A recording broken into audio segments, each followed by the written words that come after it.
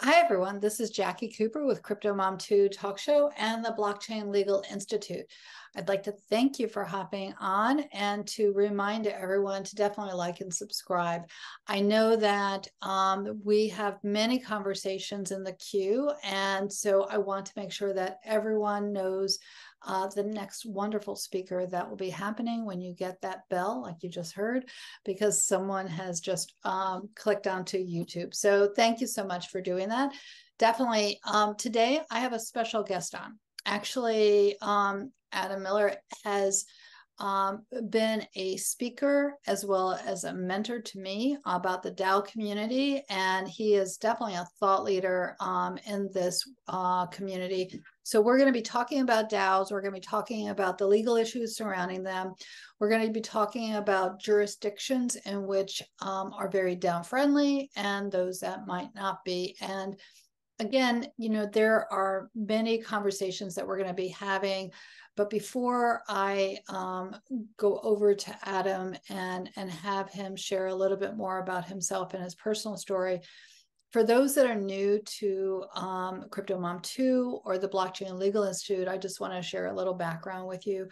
Um, my background is that I am an attorney and I'm also an educator, and I'm also an author of the Bitcoin Cinderella series. And I believe that everyone um, needs to become more aware of what's going on within the blockchain community because just like the internet was new many years ago, the blockchain community is actually developing at such a rapid rate that um, a lot of the technology is going to be embedded within, and you won't even know that you're actually using blockchain. But I think it's important for everyone who's a consumer or within business to educate yourself so you can be um, savvy to what you want to incorporate within your personal life, your financial life, as well as what you want to incorporate within your business. And the reason why I say that is um, blockchain includes both business use cases as well as cryptocurrency.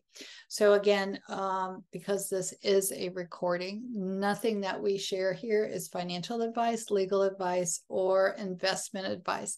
Everyone needs to do their own research and decide what is best for you in your own personal life. But we are providing resources, and I know definitely stay on to the end because Adam has created some remarkable resources for you to share um, with others. And I want to make sure that you enjoy it all.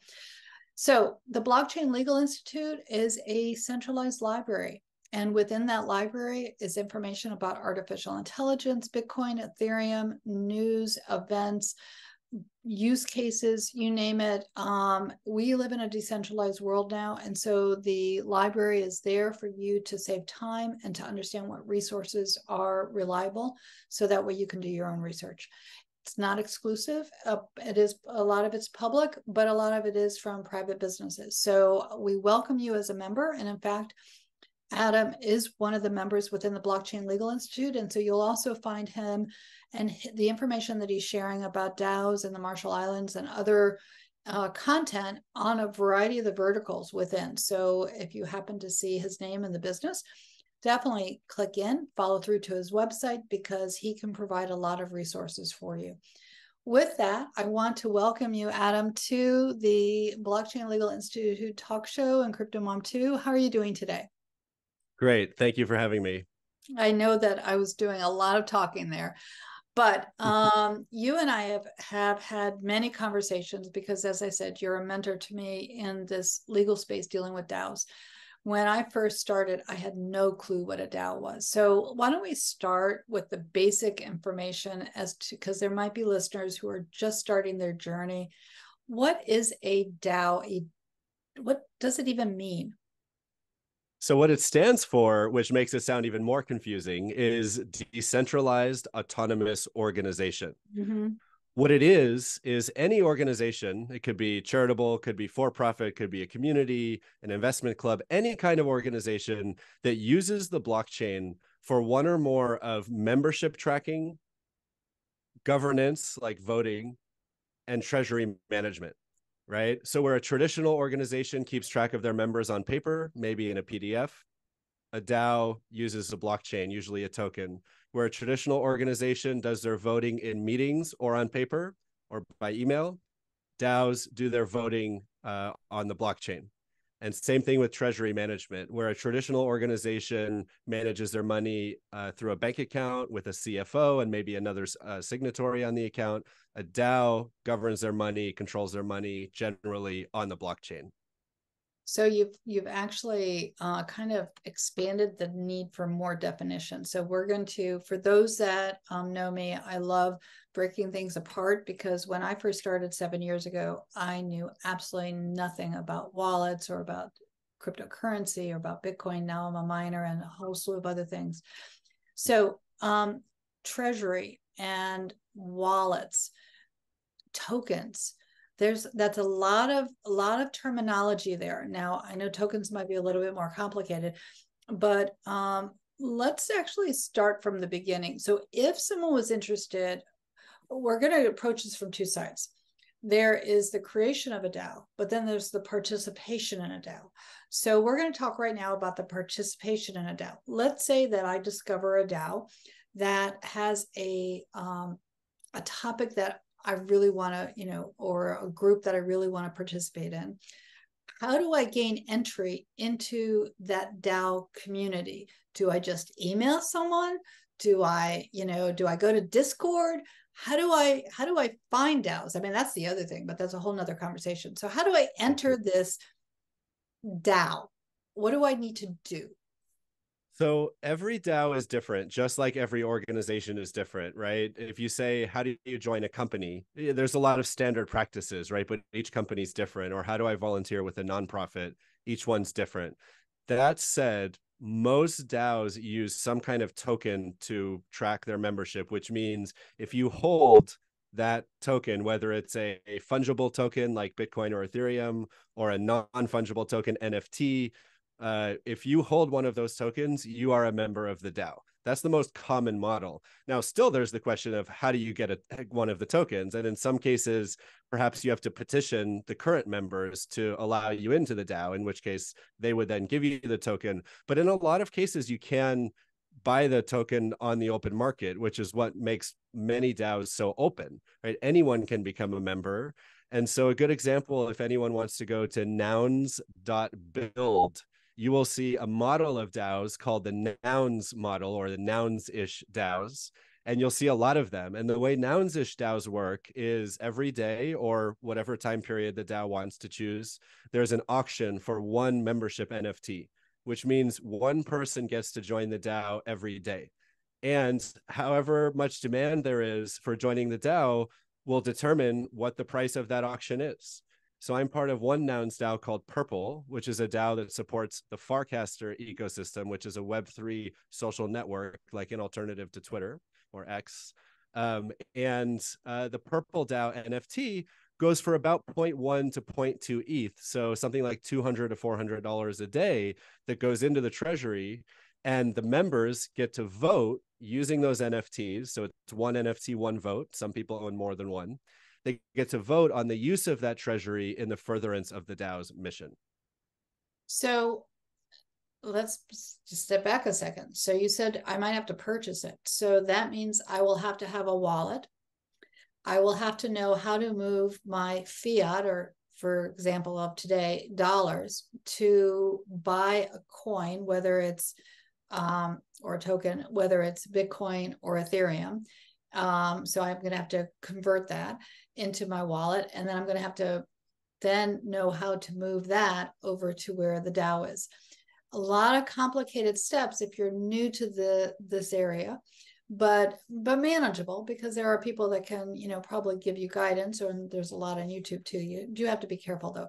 Um, so once you're in your DAO and you're participating, um, how you said that you know in a traditional business you take notes so how are these records kept uh, who holds these records are there officers within the dao or is it just like a kind of i don't want to say free for all but you know an open mm. co-op or how does it work most DAOs do not have a formal management team of any kind.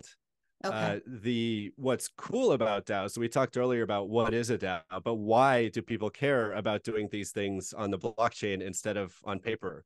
And one of the reasons for that is it allows you to have uh, voting and governance at a scale that was cost prohibitive before. So, for example, if you think about a public company, forget DAOs for a second, normal public company that has maybe 100,000 shareholders, it literally costs them millions of dollars to hold a vote because they have to mail all of their shareholders documents. They have to email they have to follow up they have to have the vote audited right? So about once a year they have a vote of the shareholders.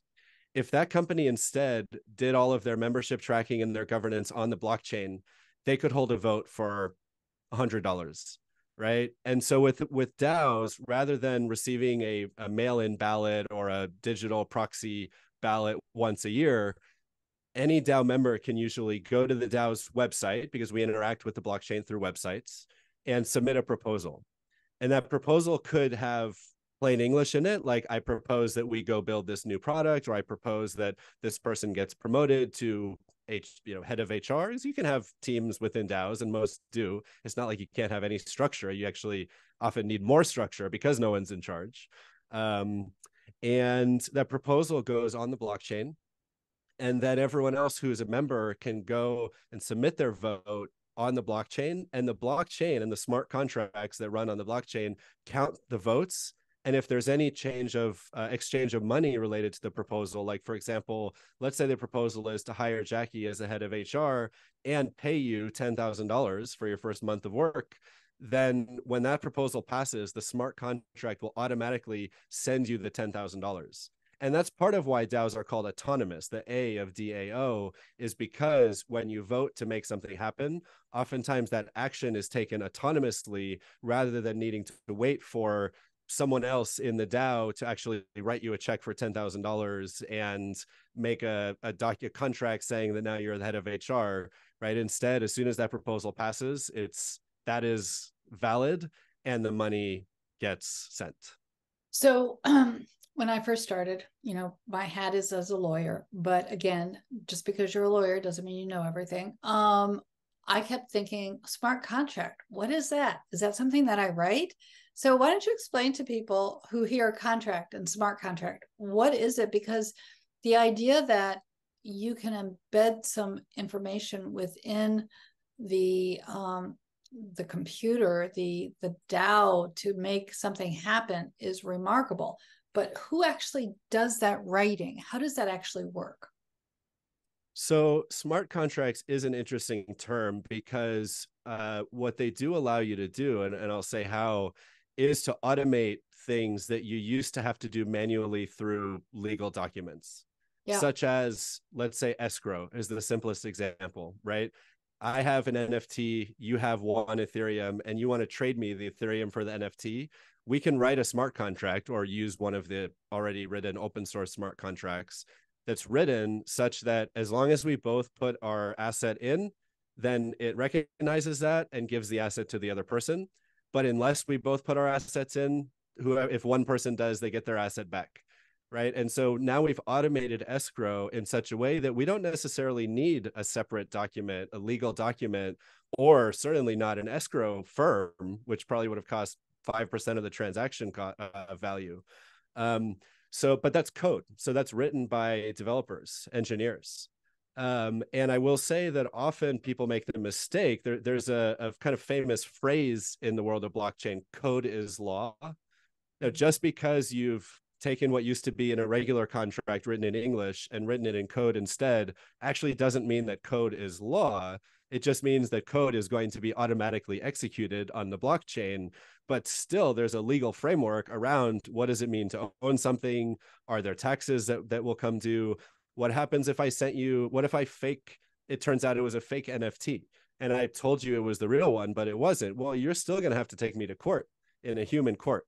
Right. And we're going to have to follow the laws of whatever jurisdiction we're in or that that are governing our deal right when it comes to a commercial transaction where there has potentially been fraud so just because you put some stuff in code doesn't mean it replaces all of the important law or any other agreements we may have had between ourselves written in English. But you can take some of what used to have to be done in contracts and with intermediaries and automate it by writing code. So my the question that comes to mind is um, because again, if you are the CEO of a company, you might not know everything, but you do have to be able to oversee things. If you're not familiar with how coding happens, how do you know that the person that you've hired is doing exactly what you need it to do? And also, what about the security within that code? So it, you know, it, you know, there might be other issues involved. At least with paper, you can read it uh, given given that you understand the language that the paper is written on um, and you can say okay this doesn't make sense let's change this. How do you do that when it's a smart contract code?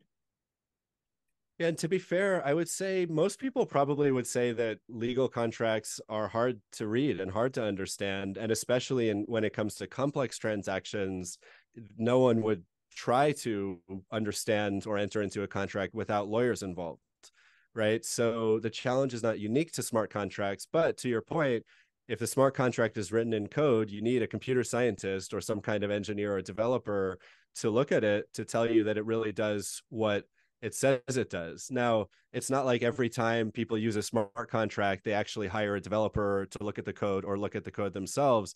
Instead, what happens is because all of this code is open source and available for anyone to see on the blockchain, and you can see everyone who's used it and every way it's been used, you can validate that, okay, this is the smart contract that has been used a million times in the past year.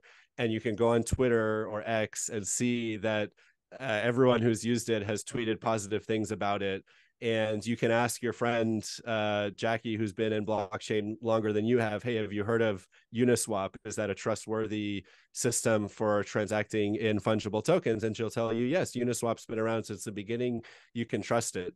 So there is this social layer, and some people call it layer zero because uh, most blockchains are called layer one blockchains. But layer zero is the social layer and you absolutely still need that social layer of uh, people uh, having social connections and cultural knowledge and shared knowledge about which smart contracts you can trust and what organizations who write smart contracts you can trust. That's just as important as trusting the social layer of people who have all agreed to the terms of use of Facebook before maybe it's a bad example because the terms of use tends to be kind of uh, uh, something that we all uh, dislike these days because we don't read it and we agree to it. I was it. about to say that least... we would just click yes on it. but but right and so but that's how it's similar to traditional contracts right we there's a social layer where we all kind of know that it's probably okay to check the box with facebook but not some random website you just visited that you've never heard of before and no one's ever heard of before don't check that box right same thing goes for for blockchain so we've uh, obviously this area is a little bit complicated as definitely involves you know people uh, feeling comfortable with navigating it let's hop over to the creation side of a DAO. So, you know, people like to go in and be part of things, but you sometimes get the idea, oh, let me create one.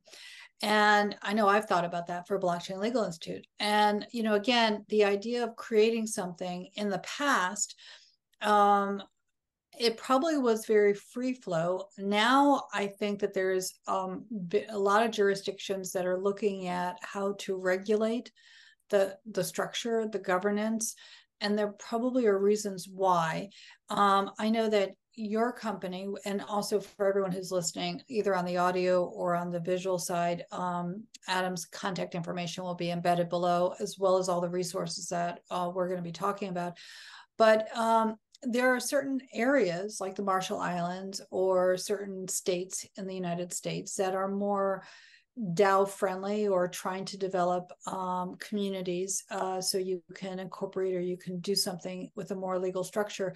Do you want to explain why that's happened? And I know you and I were talking off camera about how the Marshall Islands actually has three different laws dealing with this area. So why don't you share a little bit more about why this was needed? Yeah, so it all goes back to a few years ago. I was consulting for a friend of mine's DAO, and we were offered a million dollar grant from the Moonbeam ecosystem to develop software in their ecosystem. And of course, we said, yes, we'd love the grant, but they told us, you know what, actually, we can't give it to you unless you have a legal entity, some kind of incorporated legal form, like a corporation or an LLC. Now, every regular startup company in web, like what we call like to call Web two before blockchain, every startup company, every entrepreneur knows that one of the first things you do is you go and you form some kind of corporate entity? An LLC, corporation, whatever, a nonprofit, etc. Um, but in the space of DAOs, we kind of forgot about that because it was a different environment. We just didn't realize that we were going to run into the same issues. Um, but this was, you know, a real light bulb moment where we said, oh, if we're going to transact with other businesses, we have to have a legal entity. And so we looked around the world and we looked at a corporation in Delaware. We looked at a foundation in Switzerland. We looked at a foundation in the Cayman Islands. We looked all over the world. And it turned out that virtually every law related to corporate entities had been written in such a way that DAOs would not be able to incorporate in that jurisdiction. And what I mean by that is that virtually every corporate entity type in the world requires you requires a company to keep the full names and physical addresses of all of their members. Well, DAOs almost never do that, right? DAOs want you to be able to just buy a token and now you're a member. Similarly, virtually every corporate law in the world requires a company to have some kind of management team trustees, officers, directors, managing members, whatever it is. Most DAOs, virtually all DAOs, do not have a management team and they don't want a board. They don't want a small group of people who's in charge in any way and, and has to take action on behalf of the organization. So there were other issues too uh, but we reached out to a friend of ours, a senator in the Marshall Islands, which is a sovereign nation in the South Pacific that has been a leading jurisdiction for the shipping industry for several decades. And we said, hey, DAOs are a little bit like ships, right? They kind of live everywhere and nowhere at the same time. And so uh, we thought the Marshall Islands would be a good place to approach legislation for DAOs. And our sen- senator said, yes, let's do it over the past few years we've written and and passed uh, three laws that have created a what's called a DAO LLC. It's a kind of a fork of a normal LLC that changes the requirements so that while not getting in the way of anti-money laundering and combating of terrorism around the world, we can still allow DAOs to truly be DAOs while forming a legal entity that's recognized all over the world, allows the DAO to transact in the traditional economy, open a bank account if they want to, sign contracts, protect their members from unlimited liability, pay their own taxes so that the members don't have to pay taxes. All these things that uh, you know we traditionally get from corporate forms. Now DAOs can get those things too through MIDAO, which stands for Marshall Islands DAO and is the public-private partnership that allows DAOs or Web3 projects in general to form DAO LLCs in the Marshall Islands. So I'm I'm looking at our our time out of respect for you because you said you did have a um, a stop time. Um, why don't you go ahead and share the um, the cover of the resource that everyone can download for free? Um, because again, um, this is a guide to DAO incorporation and um, everyone who is listening or you know on the zoom definitely reach out to adam so that way he can explain a little bit more. But this is definitely free to download at his website but it's also will be within the blockchain legal institute as well um, now i know that you were also talking about other projects that you um, are gathering information do you want to kind of share more about what you're doing so that way people can reach out to you as well Sure. So the other thing is that we found that almost all of the uh, Web3 projects that reach out to us uh, are in need of a uh, Web3 lawyer, yeah. right? And especially in a lot of cases, a DAO lawyer. So another thing we've done is we've built a database of DAO lawyers and Web3 lawyers from all over the world. Uh, what's their specialty? What's their experience? And we can just get you connected with them. So whether you're interested in the Marshall Islands or not, whether you're looking to incorporate a DAO or not, I'm happy to get people connected with lawyers from our partner network. There's no cost. Most of these lawyers are happy to have a free consultation with you as well. Um, so anyone who's looking for blockchain Web3 related legal advice, I mean, obviously BLI is an amazing uh, resource there already, but I'm also happy to get people connected with uh, lawyers or tax advisors and other professionals that are in our network. Yeah. So just to clarify, Blockchain Legal Institute is a, a resource base, but we um, we might have lawyers who are members. But again, definitely reach out to Adam because uh, we don't do legal advice, but we are um, legal resources and content resources. So I appreciate that. Um, any last minute thoughts that you want to share um you, there's i know we're going to have more than one conversation because this is a conversation that just keeps evolving within the community um i know that you and i've talked about that DAOs need to think about having lawyers now. That's one of the yeah. things that they um, needs needs to happen. Do you want to explain why and any other last minute thoughts? Yeah, I mean, let, there's all kinds of legal and regulatory issues that apply to DAOs, uh, even though they're so new. And we haven't heard about a lot of DAOs getting in trouble yet, although some have, because the government has hardly realized that DAOs exist. But the fact is that as soon as they do, and as soon as more and more DAOs succeed financially, the government will be coming after us. And so you do need to do the same type of legal and regulatory work in DAOs as you would with traditional organizations. And usually the first thing that any traditional organization does is form its legal entity right? And so my number one piece of advice is that if you're in web3 if you're in blockchain and you're you're starting or joining an organization it's just as important to think about incorporating that organization in some way as it is for traditional companies. And so that's something you need to look at early on in the development of any dao I agree. And I also want to say that in addition to the lawyers that you definitely need to have on your team, you need to also educate your accountants because they are helping you do your taxes. And this is an important part of any successful business. So, yep. Adam, thank you so much for being on. We really appreciate you. I look forward to our next conversation. Everyone who um, is on, remember what I always say be kind to yourself, be kind to others. We're so interconnected. We're all part of one world. And everyone, have a great day. Thanks. Thanks, Jacqui.